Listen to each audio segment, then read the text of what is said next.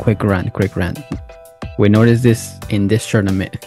Mbappe got asked to be taken out in overtime because he couldn't continue. James asked to get taken out overtime because Okay. he said he couldn't continue. He was exhausted.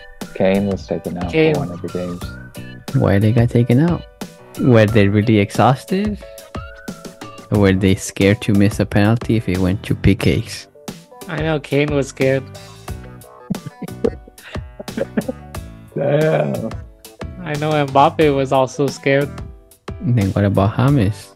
He knew he wasn't gonna get there. No, I think James really knew that Di Maria outshine him.